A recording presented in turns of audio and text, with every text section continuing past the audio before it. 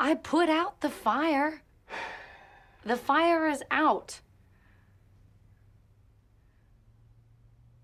First time in my life I do the right thing. Oh, shut up. No, no, no. Shut up. Save a young single mother and a kid.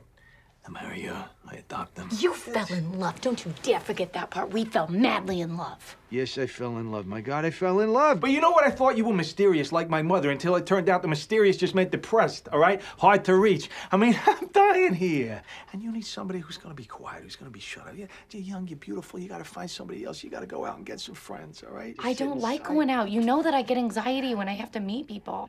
You know how hard that is. You can't just stay in the house with a fucking sun lamp, all right?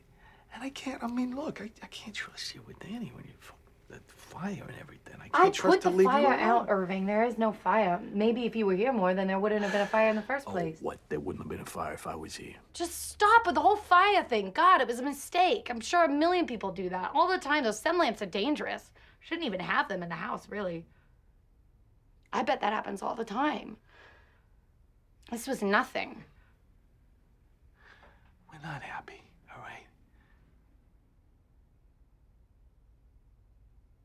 You know that I could take Danny. You know that most of your work is illegal. And you know that if you tried to divorce me, you know that I'm not saying that I would, but I'm saying that I could. And I'm saying that that is why I don't like divorce, Irving. Women do that in divorces. Women get the children and then the fathers never see them.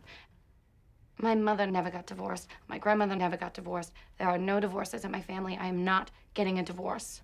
Come on, what are we doing here? We fight and we fuck, and that's what we do. That's our thing. She was the Picasso of passive aggressive karate. Come here. She was better than any con artist I ever met, including myself. And she had me like nobody had me.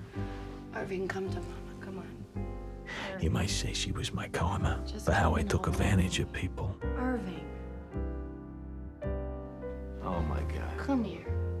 Come on.